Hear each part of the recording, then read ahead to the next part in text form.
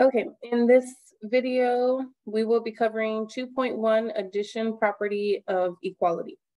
And so in this section, there are, I believe, 11 problems. And so we're going to go ahead and work on those. And I've written examples of each one. So the problem started with z plus 9 equal to negative 17.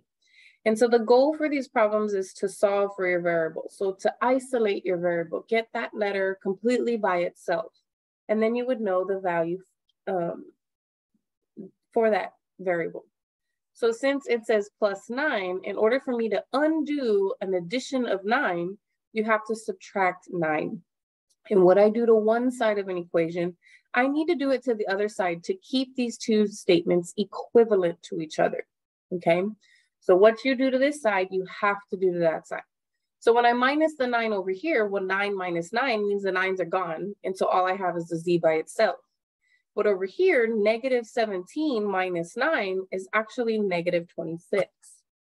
So negative 17 minus nine is negative 26. And so then I do know the value for z, and it is negative 26. For number two, we have this expression. Again, I'm trying to isolate from my variable. So this is the guy that I want to get by itself. And in order for me to do that, I'm gonna have to get rid of this minus 12. So to get rid of a minus 12, you do the opposite, which is a plus 12. So negative 12 plus 12 means I don't owe anybody any more 12s. And then if I do the same on the other side, negative 15 plus 12 is actually negative 3. And so now I know that the value of x is negative 3. Here we had negative 5 plus x. So it depends on what the sign was. I am obviously adding negative 5. Um, and so you could think of it as subtracting negative 5, but if you have a negative, a subtract and a negative together, that actually means to add. What I usually do is I usually go based off of this sign. If it's a negative symbol, then I'm going to add that value. So I want to get rid of this negative five, which means I need to add five. If I owe somebody five, you want to pay them that five bucks, right? So you're clear, you're cleared of that balance. So if I add five to both sides, negative five plus five is zero. So those numbers go away. I get just this positive x all by itself. And then over here, negative seven plus five is a negative two. And so now I know the value of x and it's negative two. For number four, we have x plus 3 over 10 equals to negative 3 over 5. So I'm adding a 3 tenths. So to get rid of this 3 tenths, I need to subtract 3 tenths on both sides to keep it equivalent. That'll knock this out on the left side. And on the right-hand side, we can put that in the calculator. So I'm going to put negative fraction 3 over 5 minus 3 over 10. And I get this negative 9 tenths that they have here for x. Now for number five, we have this. So if they're subtracting a fraction, you want to add that fraction to both sides. And if I type in the calculator 9 over 7 plus 22 over 21, it does pop out 29 over 21. I do use a calculator here. Here, same thing like that one. It's saying I'm adding 2.8, right? But whatever this sign is, if this guy's positive, then I'm gonna use a subtract. If this guy was negative, I'm gonna use a plus, okay? So since he's positive, I'm gonna subtract 2.8 on both sides. 2.8 minus 2.8 means that it's gone. And I just have x. And in the calculator, 7.7 minus 2.8 turned out to be 4.9. Now, Number seven is a lot like this problem, but it just has fractions, okay? So my variable is here. This is the number I wanna get rid of. It is a negative. So in order for me to get rid of this three halves, I'm gonna have to add three halves. And I'm gonna do the same thing on both sides of this equation. Over here, negative three halves plus three halves means the three halves is gonna go away. But over here, if I type in my calculator, negative three over four plus three over two it does pop out 3 over 4. And so my value for x is 3 over 4. Now for number 8, it's kind of the same thing as that other problem. So I have a negative 3.2. So in order to get rid of that, I'm going to have to add 3.2 on both sides.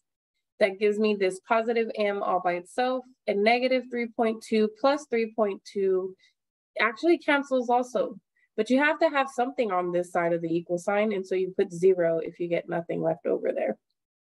And so the value of m is zero. For number nine, we have this problem. Now notice that you have variables on both sides and that hasn't happened to us just yet in this section, okay?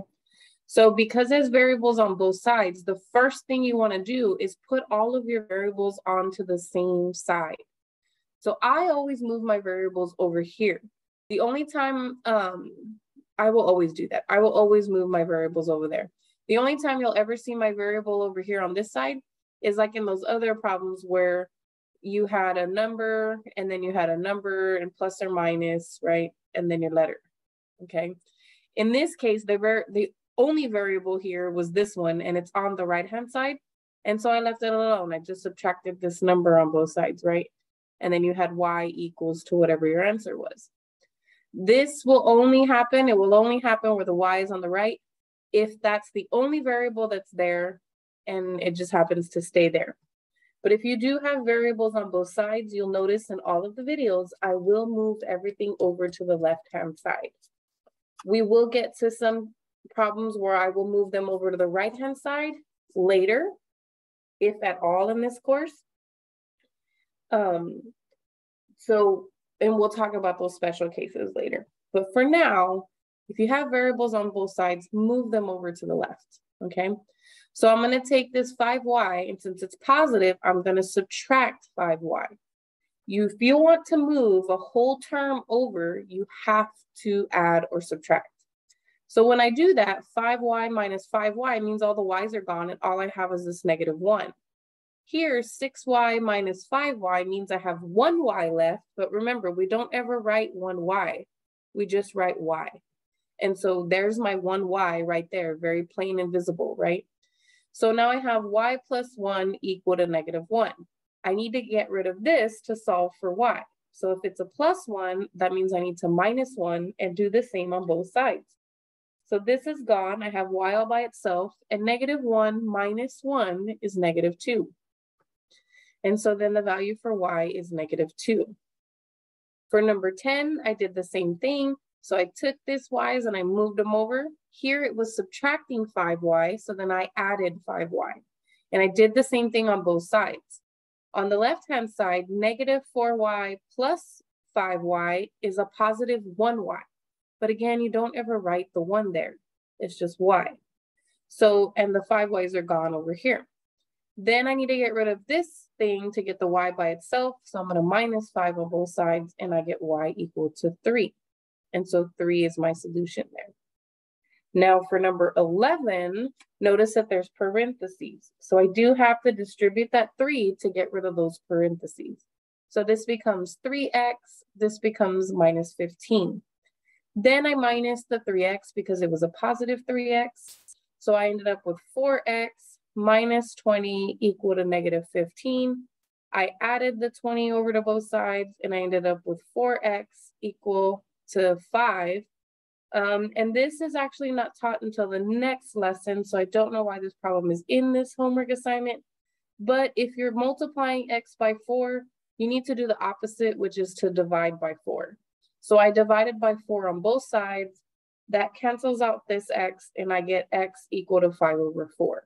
So we will talk more about how to solve for x when you have something multiplied or divided by it in the next section. So we'll get to that concept in more depth in the next um, section.